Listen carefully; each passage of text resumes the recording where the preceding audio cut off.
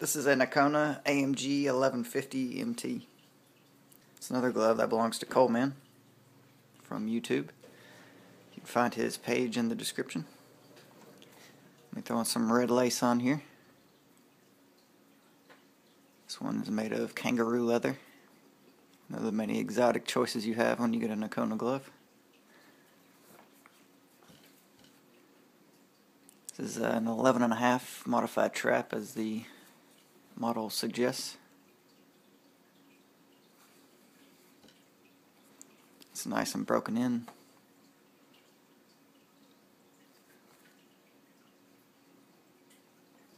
Alright, let's get this guy open. Got some excellent quality padding in here. This one's on the thicker side.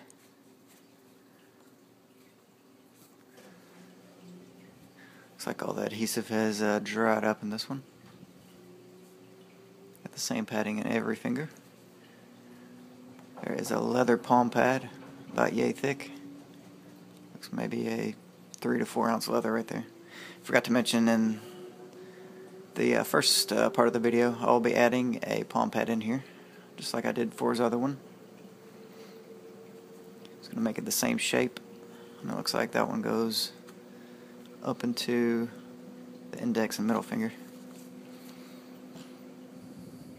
As you can see by that stitching right there. Liner seems to be holding up. Loop's still in good shape. Looks like we got a date code here. I don't think I've seen this in a Nokona before. The USA flag. The glove is finished.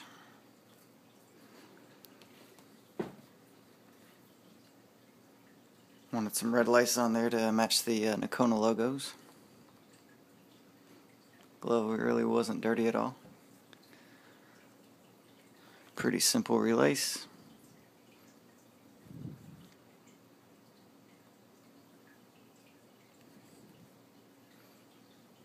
Got the Pedroia style wrist on there.